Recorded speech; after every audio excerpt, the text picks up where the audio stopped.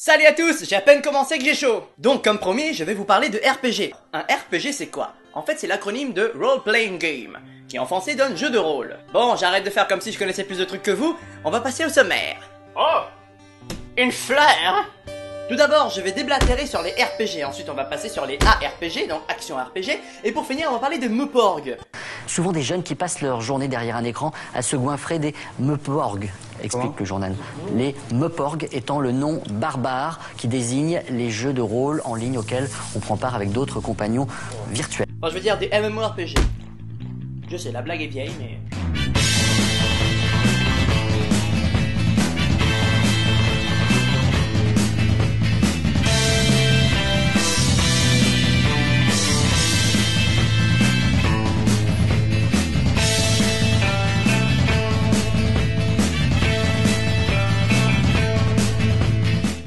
plusieurs types de RPG.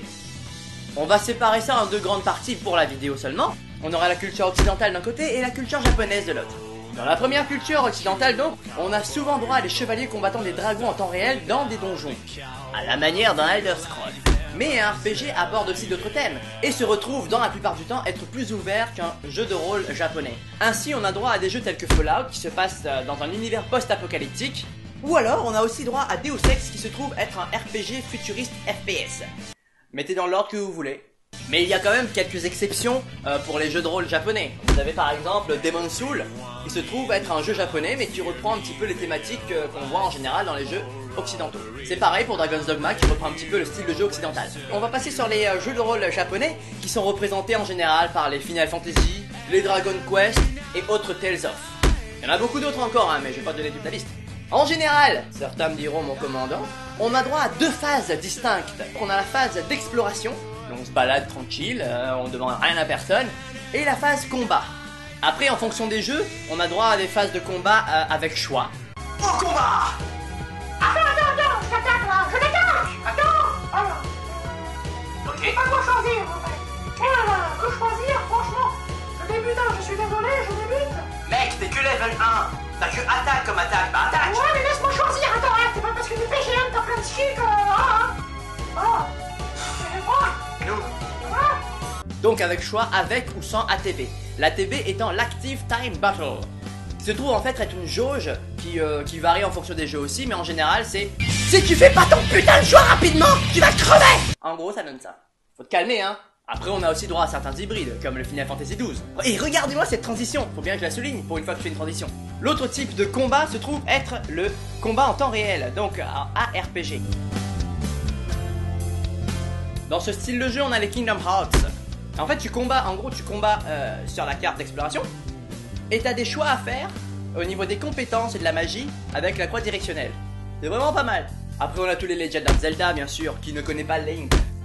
Link, c'est le gars vert, hein, c'est pas Zelda. Zelda, c'est la princesse. Elle. Euh, non, pas cette version. Ouais, celle-là, ouais. Il y a aussi tous les Fables, les Mass Effect, les Fallout, les Elder Scrolls, il y en a plein, il y en a plein, plein. Et un des premiers, c'était Idild. Et Legend of Zelda. Non, c'était Idild avant. Hmm, je ne sais plus. Donc là, je vais enchaîner sur les clichés du RPG, parce qu'il y a plein de clichés dans les jeux vidéo, surtout dans les RPG. Donc les plus courantes sont d'abord, petit 1, T'as le héros qui se réveille le matin, en fait, qui commence sa journée, ce qui symbolise en gros le début de, l'aventure, quoi, le début de, le, dé- le début de la quête, quoi.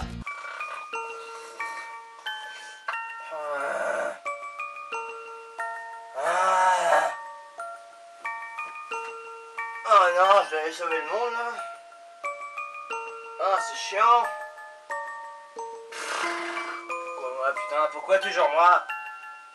Et les cristaux Oh là là, les cristaux. Il y a toujours, il y a toujours un cristal derrière l'histoire des RPG. En fait, c'est l'histoire d'un gros cristal qui s'est brisé il y a des milliers d'années, qui réuni en fait aurait suffisamment de puissance pour détruire le monde. Et si jamais ça tombe de mauvaises mains, ce serait horrible.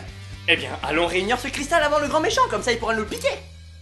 Ah, et il y a aussi les auberges miraculeuses, plus fort que lourdes. Oh putain suis en train de crever suis en train de crever Et il faut que je dorme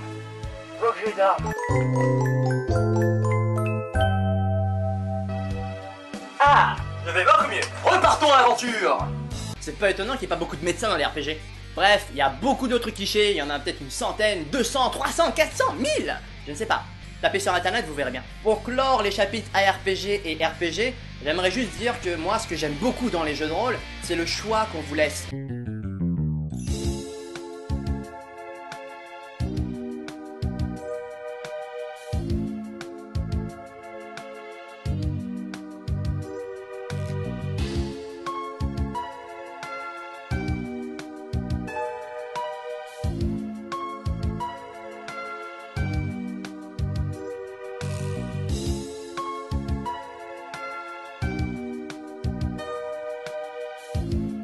Bon, même si parfois il n'y a aucune, mais alors aucune répercussion sur le scénario, ça renforce quand même un petit peu l'interaction. Même si souvent, bah, comme je l'ai dit, ça ne sert à rien. Et là, on va parler de MMORPG Là, alors, on, prend- on reprend la même sauce en gros que les RPG et ARPG. Sauf que, qu'au lieu d'avoir des PNJ en face de toi, t'as des vrais mecs Bon, le plus connu des MMORPG, c'est quand même World of Warcraft, mais je ne vais pas en parler puisque je n'y joue pas. Ah, parce que payer tous les mois, euh, voilà, très peu pour moi. Radin? Ouais, un peu. Un peu. Mais un petit peu. Pas trop. Bien sûr, on a aussi droit à des euh, MMORPG euh, gratuits, donc des free-to-play, qui souvent vous proposent une boutique avec des objets en, en vente dessus, mais bon, il, faut être, il faut honnête, les objets souvent sont très inutiles. En général, c'est pour acheter des lunettes de soleil, des trucs inutiles, des vêtements inutiles, des chaussons, des, véhicules volants inutiles ou en général, t'as que le skin qui change. Mais comme je le disais précédemment, la vraie différence, c'est que vous avez affaire à de vraies personnes en face de vous. Enfin, en face de vous. Via l'ordi, quoi. Non, parce qu'on sait tous qu'à travers un ordinateur, euh, tout le monde est différent. Derrière un PC, on a plus d'assurance. Et euh, en général, ben, on devient subitement con. Après, il y a les nouveaux. Et en général, les nouveaux, euh, ils mendient. Ils aiment bien mendier.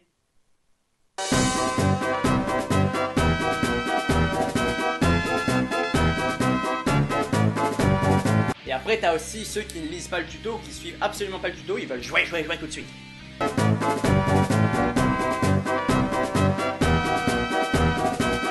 Et je vais finir par vous parler des personnages féminins dans les MMORPG. En général, euh,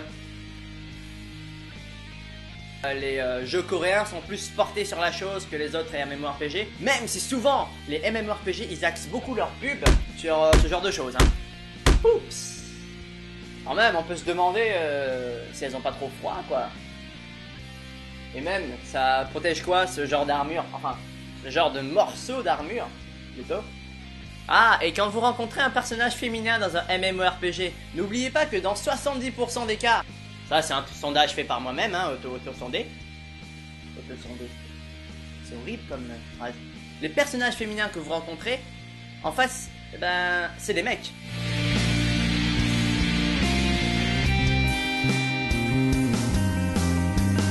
Bref, si vous voulez jouer à Diablo 3 avec moi, je sais c'est pas vraiment un RPG, c'est plutôt un and slash, eh bien euh, suffit d'entrer mon, mon ID, hein, c'est là, c'est affiché là. Si vous voulez jouer à Guild Wars 2 avec moi, bah c'est par ici, euh, suffit de, rentrer ce nom, j'accepte tout le monde, jusqu'à présent.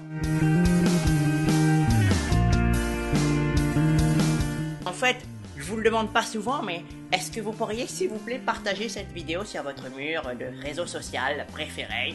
De cliquer sur partager, ça me ferait plaisir rendez-vous le mois prochain pour un nouvel épisode d'un gars un chapeau. Merde.